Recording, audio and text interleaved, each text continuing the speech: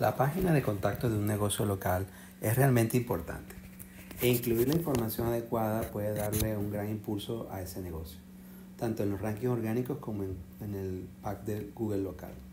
Así que hay cierta información que definitivamente quiero incluir en mi página de contacto. Para darte una idea de, de buena información, puedes ir a cualquiera de las fuentes de citas locales, por ejemplo Yelp, y echemos un vistazo a una empresa en particular para ver qué información se incluye en ese listado. Verás aquí que tiene reseñas, tienen un mapa, la dirección, un enlace para obtener direcciones hacia el negocio real, tiene su número de teléfono, su dirección web y luego bajemos un poco y aquí veremos que tiene su horario comercial listado y luego más abajo tendrán información adicional del negocio. Esta es principalmente específica para restaurantes que no aceptan reservaciones. Si hacen entregas, entonces pasan a información sobre los métodos de pago y así sucesivamente.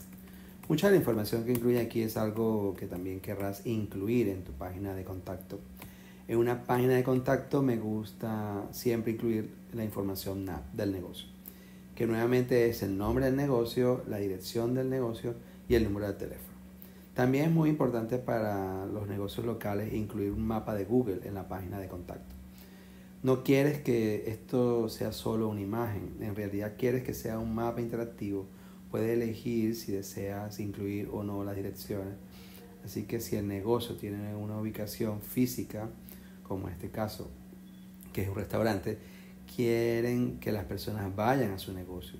Puedes escribir las direcciones de cómo llegar, Em, al negocio y también puedes incluir un enlace donde los usuarios puedan hacer clic para ir a Google Maps y otras direcciones.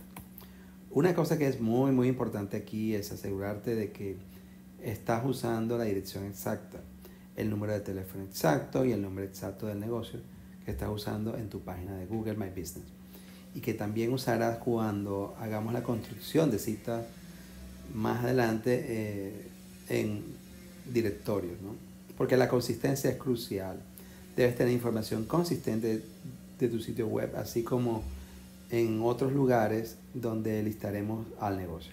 Si estás en los Estados Unidos, por ejemplo, y tu negocio está en Texas, digamos, si escribes Texas en lugar de usar solo la abreviatura TX, por ejemplo, eso hace que la dirección parezca diferente. Es la misma dirección, pero solo asegúrate de que todo sea consistente. Aquí dice street, que está abreviado como ST, no está escrito completo, ¿no? S-T-R-E-T. Así que asegúrate de seleccionar una forma de escribir la dirección y mantén esa consistencia en todas partes.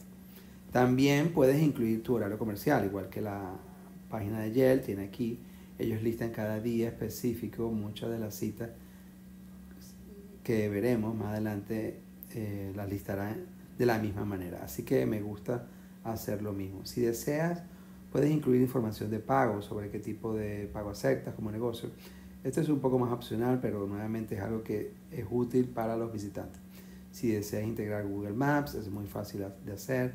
Hay complementos que te ayudarán a hacerlo, pero ya sea que estés usando un sistema de gestión de contenido o simplemente codificando el sitio web, puedes ir a Google Maps, escribir la dirección del negocio y hacer una búsqueda.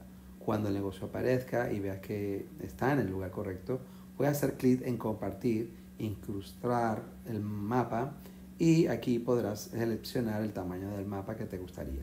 O también puedes elegir un tamaño personalizado para ajustarlo a tu sitio web particular. Luego simplemente copias esta línea de código y puedes pegarla en tu página de contacto. Es muy simple y directo. Realmente no hay ninguna razón para no hacerlo, incluso si no sabes codificar o programar, ellos podrán hacerlo, podrían hacerlo mucho más sencillo para ti. Así que echemos un vistazo a un par de negocios. Este negocio en particular ha optado por tener un mapa como encabezado completo para su negocio y eso funciona. Este es un mapa de Google. Las personas pueden acercarse, alejarse y ver dónde están en relación con este negocio en particular. Al desplazarse hacia abajo, tienen una página de contacto donde sus clientes pueden ponerse en contacto y en el lado derecho en realidad enumeran su dirección específica, su número de teléfono y sus horarios comerciales. Así que es una página de contacto bastante buena. Aquí tenemos otro ejemplo, aunque me gustan algunas de las cosas en su sitio web. Cuando miro su página de contacto podría hacer mucho más con ella. Enumeran un número de teléfono, pero luego solo tienen una página de contacto genérica. No tienen un mapa, no tienen su dirección real listada, no tienen ninguno de, los, de sus horarios comerciales. Así que podría mejorar su clasificación simplemente agregando algo de esta información. Realmente ayuda a que su sitio web se vea más legítimo y ayuda a vincular su sitio web con Google My Business y también sus citas a los ojos de, de Google. Así que es algo que podrían hacer. Voy a crear em, en mi sitio web una página de contacto, puedes llamarla como prefieras, yo solo pondré ponerse en contacto por ahora. Dado que estoy usando Divi, eh, Divi tiene tanto una función de mapa como una función de página de contacto, así que puedo crear esto como quiera. Pero también tiene un diseño de página de contacto de ejemplo que puedes descargar desde la biblioteca. Aquí verás que esto usa el mapa en ancho completo como hizo eh, este ejemplo de acá. Así que se vería algo así si quisiera hacerlo. Dado que el negocio con el que estoy trabajando no quiere que los clientes vayan a su ubicación real eso no es algo que, que quiero hacer. Prefiero poner un mapa más abajo en la página y más pequeño para que no destaque tanto. Pero tengo el formulario de contacto aquí y luego pues, mm, completarlo con la información que quieras poner todos los campos que desee y luego aquí a la derecha en el módulo de texto voy a agregar el número de teléfono del negocio. Voy a enumerar todas las direcciones del negocio y luego más abajo también incrustaré el mapa. Así que voy a pausar aquí un momento y luego mostraré cómo termina luciendo esta página. He completado mi página de contacto, he dejado el formulario de contacto aquí, he eliminado el encabezado de mapa de imagen completa en el área de texto. He agregado la información de mi negocio, incluyendo el número de teléfono y los horarios comerciales He añadido un mapa más pequeño aquí, ya que este negocio no tiene una ubicación a la que quieran que sus clientes vayan. Cuando voy a mi sitio de demostración, esto es lo que se verá. Puedes ver que es solo una página de contacto muy básica. Ciertamente puedo agregar más texto alrededor del formulario si lo deseo, pero el diseño no está configurado de esa forma. Me preocupa más configurar mi optimización en la página y luego puedo empezar a aplicar el diseño. Tómate unos minutos ahora para agregar la información necesaria a tu página de contacto y configurarla.